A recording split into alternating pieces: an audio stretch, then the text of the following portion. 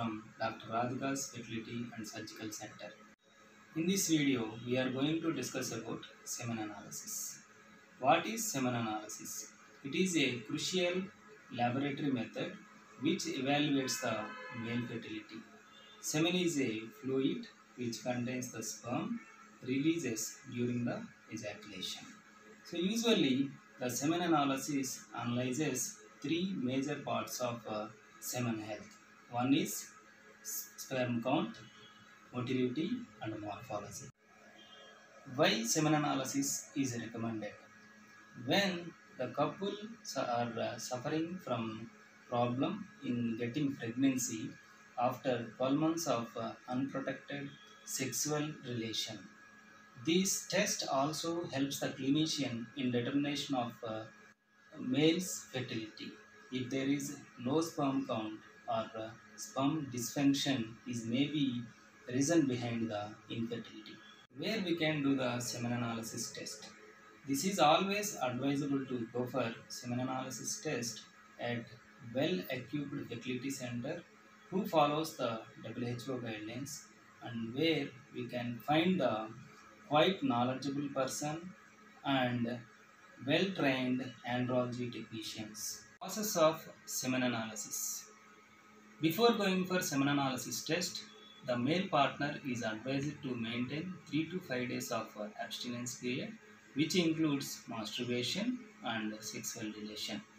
If the abstinence period is not between 3 to 5 days, which means if it is less than 3 days or more than 5 days, it may lead to interpretation of misinterpretation of results. So usually we have discussed the semen analysis is a laboratory test of a freshly ejaculated sample which starts with a physical examination followed by the microscopical examination. Physical examination includes color, liquefaction, volume, consistency and pH, where microscopical examination includes sperm count, motility, morphology and vitality. What does semen analysis report shows? The semen analysis report gives detailed breakup of various parameters of uh, semen that starts with uh, color. The color of semen should be grayish white or opalescent. If the semen color is pale yellow, it indicates the presence of infection. Next one is liquefaction. Liquefaction is nothing but gel-like ejaculated semen that converts into watery-like substance. The process is called as liquefaction. So the liquefaction time should be between 20 to 60 minutes. If there is a delayed liquefaction that may affect the sperm motility. So the liquefaction time should be between 20 to 60 minutes. Next one is volume. The volume of semen should be 1.5 to 5 ml. If there is a low volume of uh, semen, that may indicates the person may be suffering from the blockage of uh, ejaculatory duct. Consistency. The consistency of semen should be normal. If uh, the semen is viscous, that may lead to problems in examination of uh, semen sample. pH.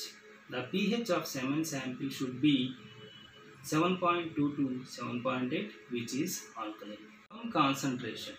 The sperm concentration should be greater than or equal to 15 million per ml which is uh, recommended as normal range as per WHO guidelines. Next one is motility. The motility of sperm should be greater than or equal to 40% which is required for the normal fertilization of egg by sperm. Next one is morphology. Morphology should be greater than or equal to 4% of normal forms. Vitality. The vitality should be greater than or equal to 58%.